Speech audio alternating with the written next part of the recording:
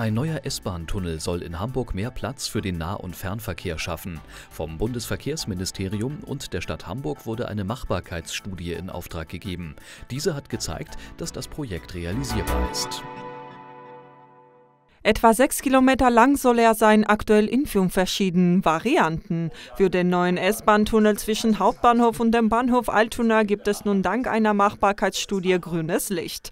Der Ausbau der Verbindungsbahn ist eines der Schlüsselprojekte des Deutschlandtakts. Es geht darum, dass die Bahn in Hamburg etwa 150 zusätzliche Züge jeden Tag in die Stadt fahren kann, dass wir trotz dieser 150 zusätzlichen Züge mehr Pünktlichkeit, mehr Qualität in den äh, Bahnverkehr bekommen und deswegen ist das ein Schlüsselbauwerk, um die Bahn in Deutschland und in Norddeutschland besser zu machen.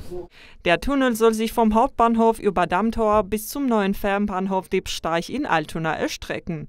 Eine Variante könnte sogar exakt entlang der aktuellen Linie zwischen Hauptbahnhof und Altona verlaufen.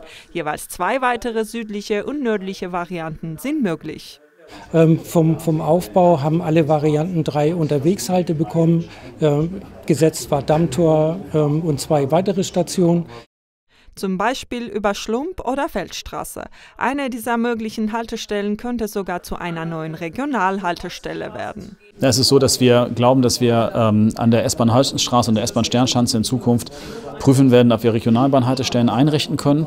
Ähm, das würde natürlich neue Fahrbeziehungen aus diesen Bahnhöfen ermöglichen und zu diesen Bahnhöfen. Sie können dann zum Beispiel ab der Holzenstraße direkt zum Bahnhof Lüneburg fahren. Sie können ab Emshorn direkt bis zur Sternschanze fahren. Zu den Kosten ursprünglich auf 2,6 Milliarden Euro geschätzt und Baudauer konnten heute keine Angaben gemacht werden. Bis Ende dieses Jahres soll die Entscheidung für eine Variante stehen. Ein Mitspracherecht sollen auch die Anwohnenden und Betroffenen bekommen.